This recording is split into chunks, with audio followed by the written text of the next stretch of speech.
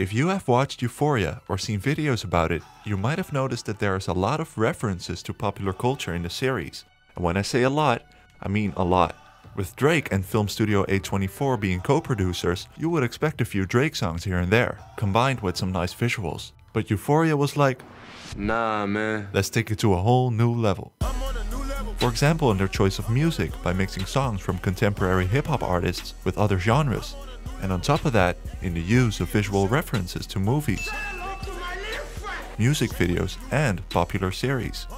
That's why I wanted to have a closer look to see how Euphoria is referring to these forms of popular culture and to find out what exactly their meaning is. So now let's get into it. Oftentimes I hear people talking about how Euphoria is just copying all these movies and leeching of their success. But is Euphoria actually copying all these elements? In short, maybe yes, but here's the thing. There's a distinct difference between copying and stealing. Let me explain. You might know the famous quote by painter Pablo Picasso, who said lesser artists borrow and great artists steal. What he meant by this is that a bad artist just takes something without changing it at all and pretend like it's theirs. A great artist, however, takes something, changes things here and there and perhaps puts it in a different context and tries to make something better, and above all, something unique. So how is Euphoria actually doing this? Let's have a look at a couple things that are pretty cool in my opinion. First off, the soundtrack, which is kinda fire. The soundtrack features songs and samples from so many different artists like Billie Eilish, Drake, The Migos, JID, Doja Cat, you name it and it's probably on there. These modern songs are then mixed with classical music or even some Frank Sinatra. This is very similar to how the movie Waves used music by Frank Ocean and Tame Impala to combine sounds from different genres. The cameraman of Waves also worked on Euphoria, and the movie is starring Alexa Demie in another toxic relationship. Fuck you! The artist that created the iconic sound of Euphoria, however, is called Labrinth. His voice is running like a thread through the entire series. Some of these songs are even becoming character specific, like the Nate growing up sound. Every time you hear that sound, it symbolizes that Nate is about to show his ass up to the party. The titles of the songs oftentimes also match the feelings and thoughts of these characters at a certain moment. Like the song Still Don't Know My Name, referring to both unrequited love and these characters searching for the true versions of themselves. This way, the music is sort of becoming part of the characters, which is pretty relatable, I think. On a visual level, Euphoria is doing this in a similar way, because the most ingenious aspect of the show besides the music is definitely the cinematography. You could take a single shot out of the show and almost immediately recognize its euphoria because of the colors, the camera movement, the setting and clothing, or no clothing at all. And it's those recognizable elements that Euphoria loves to play with. There are so many movies, series, TV shows, and music videos out there on the internet that are available to everybody. Euphoria takes those memorable elements of our popular culture because they know that it is something that the audience will recognize and have associations with. And because of that, they are not only copying those elements, but also altering them in a way that fits the story. Take the famous mirror shot from the French movie La Haine, for example. The scene where Nate Jacobs is growing up, we see a young boy being fueled by hatred, turning into an absolute beast. Which not only relates to the movie La Haine visually, but also thematically, because La Haine literally means the hate. And one of the most powerful takeaways of the movie is that hate attracts hate, which is exactly what the character of Nate is portraying. Right from the beginning of the first episode, the tone and cinematic rules of the story are being lined out.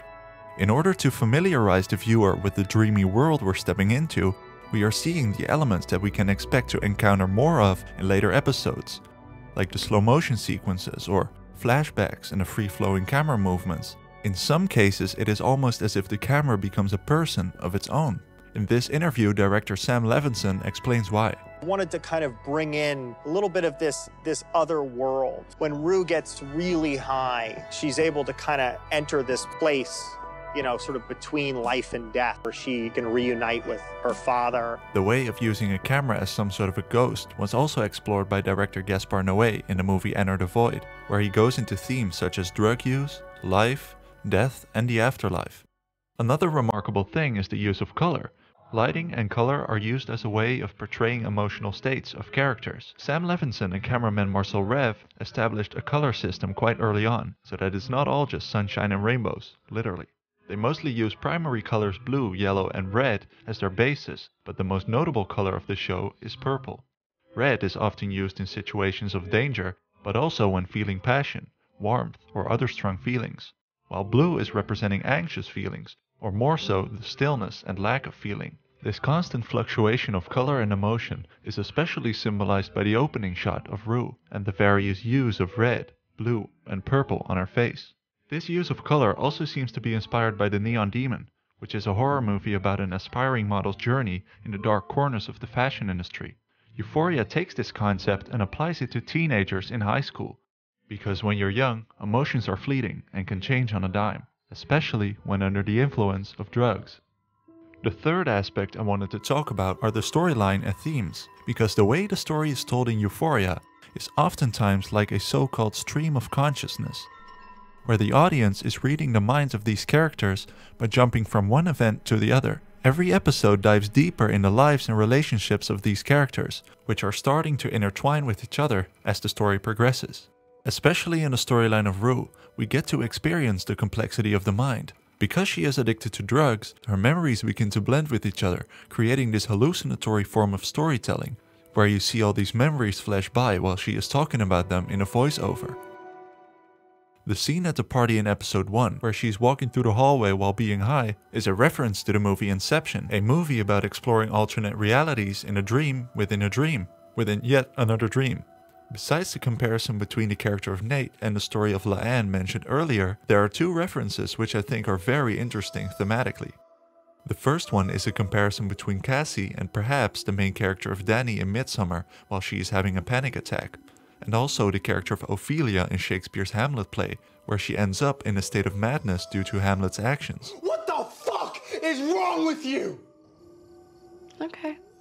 This also coincides with the meaning of the flowers, because in Midsommar, flowers symbolize life and death.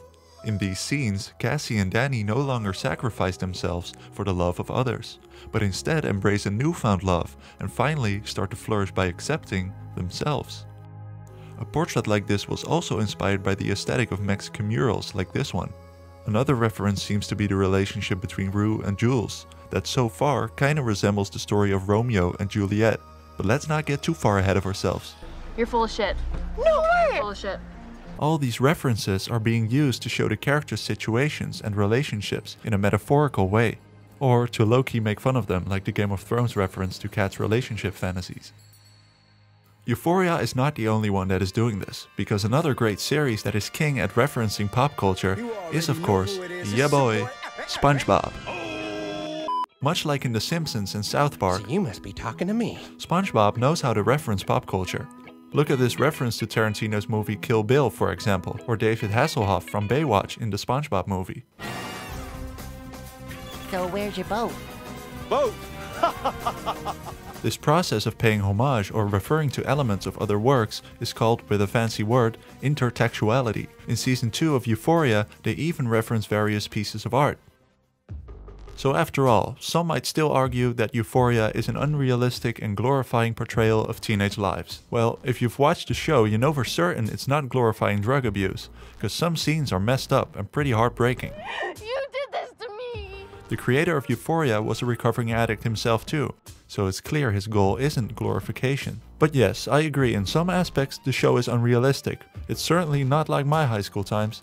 The lighting is definitely not like this in high school dorms or guys sitting around shirtless with each other, but sometimes, instead of trying to mimic reality, imagination and fiction are better at conveying certain emotions and the feeling of the real than realism itself. Isn't that why we love fiction and movies at the end of the day? With reality, you can only go so far, but as soon as you tap into fiction, you can explore way more than reality could ever do. I couldn't cover all the references in Euphoria because there are so many of them, so if you want to add anything or have cool theories, please write them down in the comments so other people and I can read them. And if you like this video and want more content like this, please hit the like button and subscribe. Also check out my playlist with short facts about movies and series. And I hope to see you in the next video.